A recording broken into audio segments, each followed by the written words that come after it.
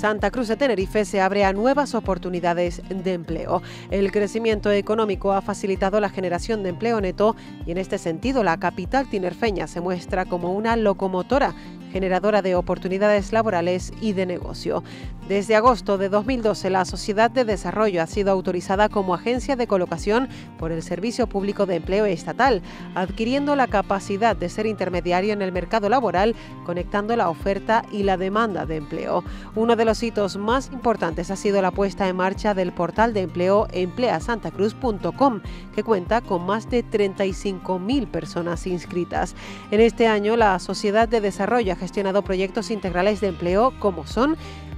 Pasaporte al Empleo, creado para mejorar la empleabilidad por cuatro municipios de Canarias, Santa Cruz de Tenerife, San Cristóbal de la Laguna, Las Palmas de Gran Canaria y Telde, en colaboración con el IMAS y el Servicio Canario de Empleo. Su objetivo principal se basa en mejorar la empleabilidad de 250 personas desempleadas empadronadas en Santa Cruz de Tenerife y desde julio de 2018 a abril de 2019. Cuenta con un aula de búsqueda de empleo permanente, una lanzadera de empleo, un método para encontrar objetivos ocupacionales denominado la era de los valientes y un aula permanente de habilidades sociales. Se incluyen además acciones formativas transversales que proporcionan competencias genéricas necesarias y aplicables a todas las ocupaciones. Proyecto Age Factor, financiado por Erasmus Plus, con el que 23 personas mayores de 50 años se han formado en competencias digitales.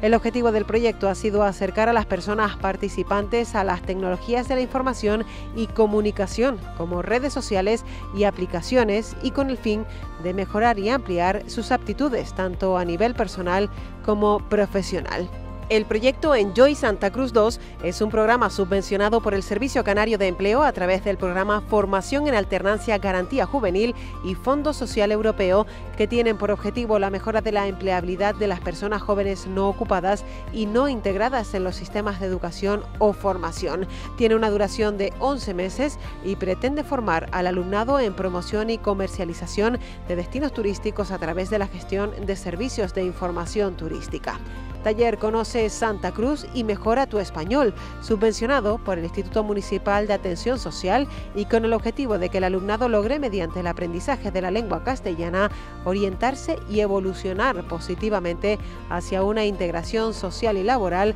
de la población extranjera del municipio de Santa Cruz de Tenerife. Y por último, el proyecto de Challenge Abroad Continued está subvencionado en el marco del programa federal alemán del Fondo Social Europeo Integración Street Linie Bund y ha sido elaborado por la ciudad alemana de Göttingen y el Ayuntamiento de Santa Cruz de Tenerife. Trata de facilitar la inserción de jóvenes en situación de dificultad de acceso al mercado laboral por medio de un intercambio que incluye experiencias laborales de prácticas en el extranjero.